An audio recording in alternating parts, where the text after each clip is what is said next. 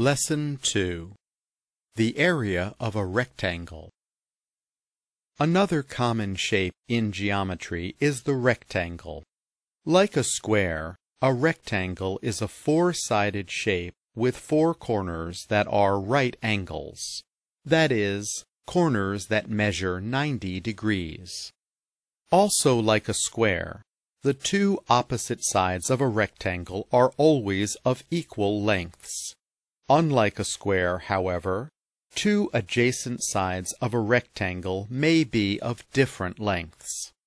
These two sides of a rectangle are called the base and the height of that rectangle, abbreviated b and h.